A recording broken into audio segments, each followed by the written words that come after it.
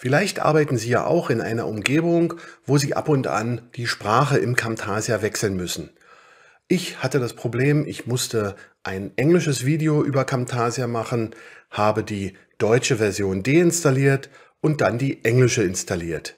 Nachdem ich damit fertig war, habe ich die englische Version wieder deinstalliert, ganz normal übrigens, über die Einstellungen von Windows und habe dann wieder die deutsche Version installiert.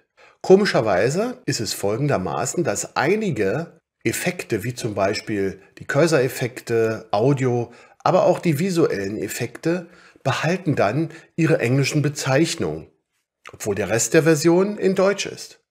Das Problem kann ich aber ganz einfach lösen, indem ich auf Bearbeiten Optionen gehe, dort auf Erweitert und dann ganz unten Camtasia auf die Standardeinstellungen zurücksetze.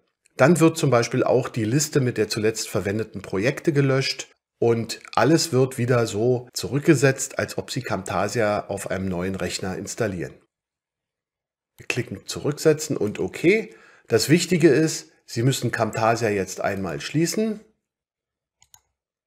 Und ab dem Moment sind Ihre Effekte wieder auf die deutschen Bezeichnungen zurückgestellt.